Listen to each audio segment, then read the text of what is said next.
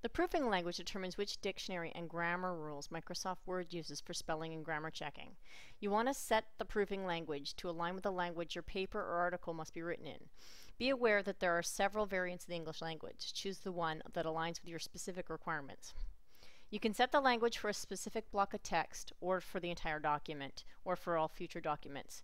To set for a block of text, select the text and change the language. To set for um, the entire document, set the default proofing language and that will actually set it also for future documents based on the same template.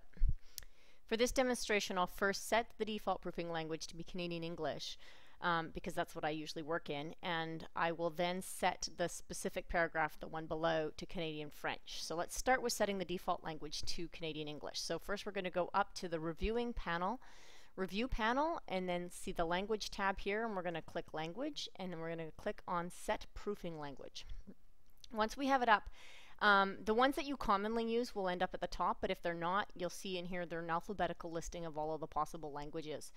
Um, that you could set your system to. So I'm going to click mine to English Canada and I'm going to click set as default. This will set the default language. Now a pop-up window appears and it's going to ask me do I want to set this in the default template. What this will do in the normal template and this will this will automatically update the default language in the template such that any new document created off of that template so if you do file new um, you'll automatically use that language. And so yes, we're going to do that as our default and we're going to click OK.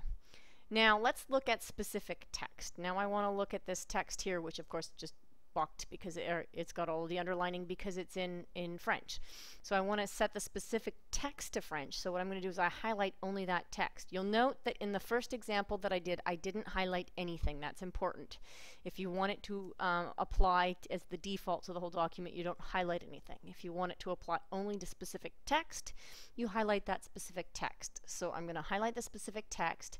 Again, on the review panel, language, and I hit set proofing language and this time I'm going to search down because of course I'm looking for French here so we'll go down to F. And Canada French. And I click OK and then it cleans up and discovers the French. And there's a couple of typos in my French. And that's all there is to setting the proofing language.